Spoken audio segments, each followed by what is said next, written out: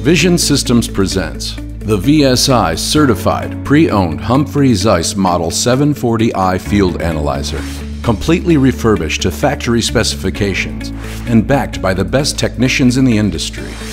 The 740i allows eye care professionals the ability to perform one of the widest ranges of examinations in the industry. Optional HFA Pro allows for the transfer of patient data within the office network.